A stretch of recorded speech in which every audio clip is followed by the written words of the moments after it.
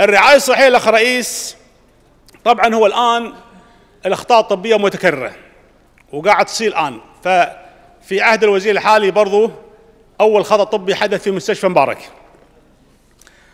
مستشفى مبارك مواطنة كويتية راجعت المستشفى وفحصوها قالوا إنتم تحتاجين بتر الرجل اليمنى فكلموني أولادها فقال الوضع اللي حصل كذا كذا والآن إنه الجماعة المستشفى قالوا محتاجين البتر. قلت له عندكم فيزا؟ قالوا عندنا فيزا فرنسا رتبت لهم الحجز وديناهم ثاني يوم. شيكوا في فرنسا وطلعت الرجل سليم ما فيها شيء. قعدت بفرنسا شهر أنا دافع تذكرهم على حسابي.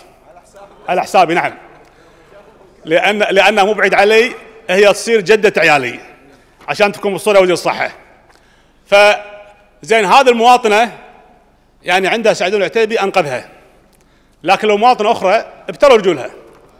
لذلك يا وزير الصحة إحنا الآن الأخطاء الطبية قاعد تتكرر وهذا يعني خطأ تو فريش يعني في عهد الوزير الحالي. راحت فرنسا فحصوها قعدت شهر.